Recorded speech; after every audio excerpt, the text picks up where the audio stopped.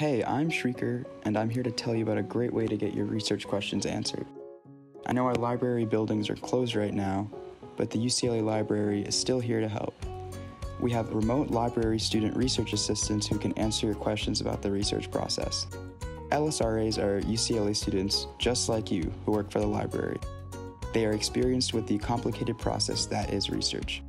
If you have trouble finding or refining sources for your research project, organizing your research, citing material, or anything related, LSRAs are here to help. If you're viewing the library's virtual tour, start by clicking the button directly beneath this video.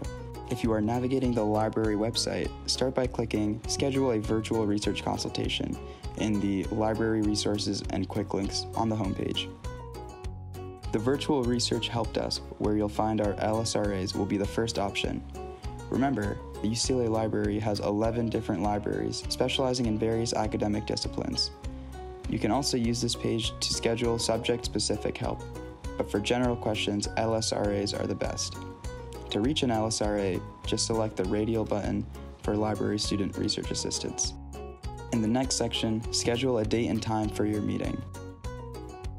Next, fill out your contact information as well as an overview of your research question so we can best be prepared to help you.